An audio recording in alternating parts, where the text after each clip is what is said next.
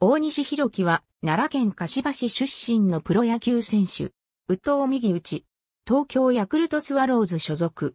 小学校から軟式野球を始める。大阪商業大学高等学校では2年秋からエースとなるが、甲子園大会出場はなかった。大学に進学することを決め、絶対プロの世界に行きたいと語った。大阪商業大学に進学し、1年から公式戦に出場する。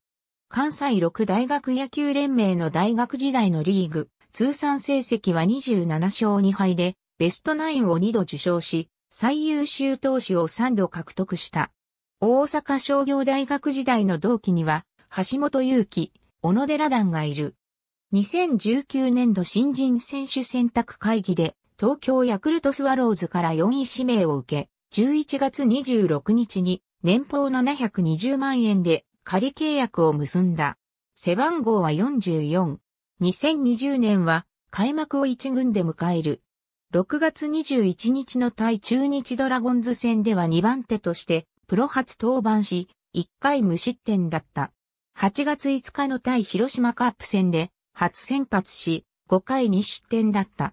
5試合の登板で1敗、防御率5.00だった。2021年は5月27日に1軍登録される。6月1日の大東北楽天ゴールデンイーグルス戦で3番手として登板。無失点で抑え直後に味方が逆転し、プロ初勝利を挙げた。直球の最速は時速 148km。